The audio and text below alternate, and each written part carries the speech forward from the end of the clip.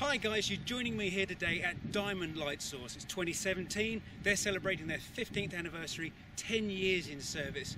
It's an amazing building full of amazing people doing amazing stuff. And we caught up with Jonathan Spires to look at some of the Cadence software that he's using to design some of the amazing boards that are in here.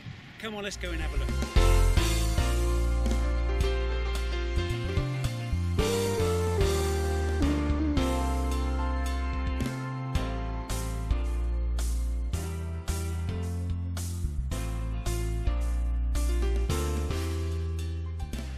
This is basically the optics hutch. So once the X-rays have been generated off the electrons being spun around diamond, they come into the optics hutch, which is where they then tune the beam of X-rays and get the X-rays set up at the right diameter and the right energies for use in the end station. Typically on the beam line like this, we'd have our chips installed at the end of the beam line.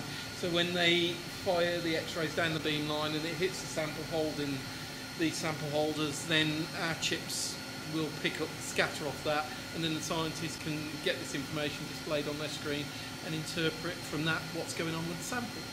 Um, basically, these products are they're used for detecting X-rays.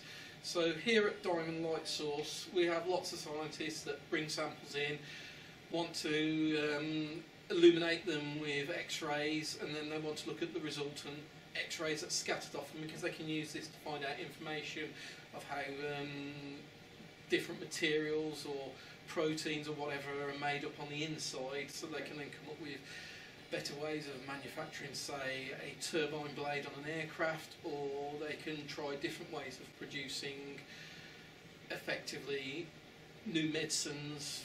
So one of the major tools that they will need is a sensor to be able to look at the result and scatter the X-rays. Okay. So here at Diamond, we came part of a collaboration with CERN, mm-hmm. which developed a small pixel detector, which was approximately 14 mil square, with 256 by 256 pixels across the surface of it. Okay. With this readout system, you can then put whatever sensor you want on, made by various sensor manufacturers around the world, like the likes of Canberra. They can get bump bonded onto this ASIC, and then this ASIC can be plugged into a readout system and put into a beam line. Samples hit with X-rays, the scatters are picked up by this complete readout system. The results are then displayed on the screen in a piece of software like this, or a custom interface that's developed by whichever institution it is, and then scientists can interpret it, the results from that. For designing this board, we use both parts of the Cadence software. We use- both the schematic and the layout. So for this particular design, we had the single one that was already designed through the engineers in Diamond. And once we'd decided on the dimensions that we wanted for the PCB, this is where the software really came into its usefulness.